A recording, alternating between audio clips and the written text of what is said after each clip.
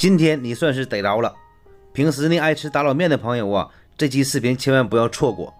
川哥呢更新五种口味的打卤面的这个卤制作方法。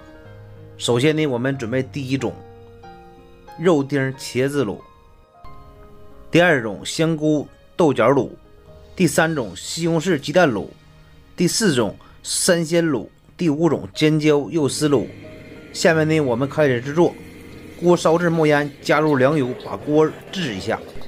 锅留少许底油，放入肉丝儿，把肉丝炒熟炒香，放入大葱花，增加点香味儿，再放入尖椒丝，简单翻炒几下，炒出辣辣椒那个清香味儿，然后加入蚝油，放入生抽，加入清水，加入盐、白糖、味精调味儿。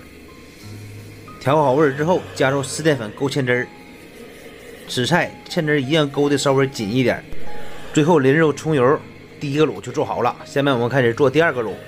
首先呢，锅中加入那个色拉油，放入鸡蛋，把鸡蛋液炒成块状，再放入西红柿，然后简单翻炒几下，加入清水，再加入精盐、味精、白糖调味，然后湿淀粉打芡汁儿。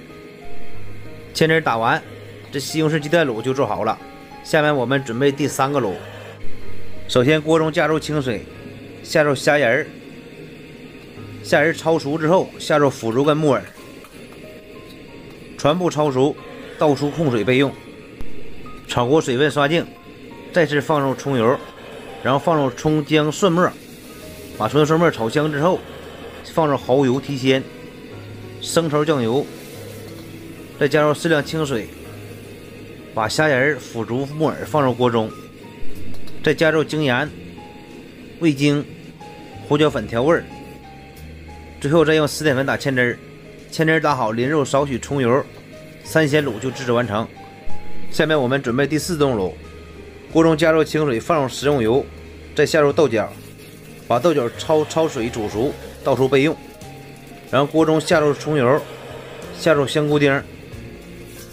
香菇炒香之后，下入豆角，继续翻炒，加入蚝油、生抽，再放入适量清水，然后开始调味儿，加入精盐、鸡精、少许白糖，最后湿淀粉打芡汁儿，芡汁儿打好，淋入少许葱油，这样香菇芸豆卤就制作完成。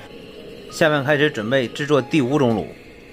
首先，煸锅烧热，加入适量食用油，把锅炙一下，然后倒入锅中宽油，下入猪油，再下入肉丁，把肉丁炒熟炒香，下入茄子丁，简单翻炒一会儿，把茄子丁炒熟炒香，然后放入蚝油、生抽，加入清水，再加入十三香，少许老抽提色。再放入味精、白糖啊，盐就不用放了，因为这个酱料放的多，咸味已经够用了。这四点粉打芡汁儿，这样肉丁茄子卤就做好了。大家好啊，这个卤啊，春哥就炸好了。春哥呢，尝尝这个，分别尝尝这个味道怎么样啊？这西红柿鸡蛋卤吧，比较清淡啊，非常非常清淡。